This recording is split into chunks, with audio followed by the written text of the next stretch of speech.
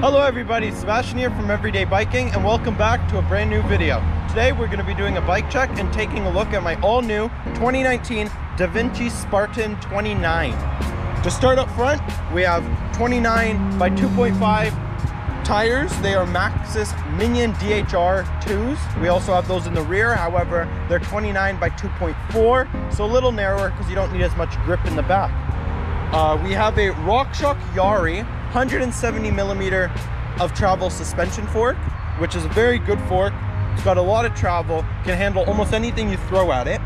And in the rear, we have a RockShox Super Deluxe shock with 165 millimeters of suspension travel, and it is a piggyback shock. So we also have some extra air pressure in there.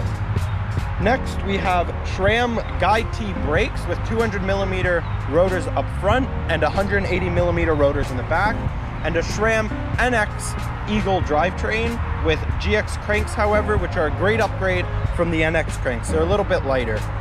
Um, it is an 11 to 50 tooth cassette which is great for climbing and descending. The bike is also equipped with an SDG X Devinci saddle, which is also attached to a lightweight dropper post, as Devinci claims.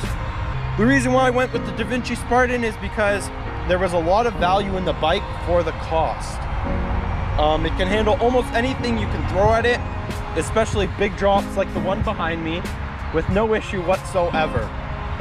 Thank you guys for taking a look at my 2019 Devinci Spartan 29er with me today. I hope you enjoyed this video. If you did, please leave a like, comment below what you think of my new bike, and please subscribe if you haven't already. We look forward to seeing you in our next, next video.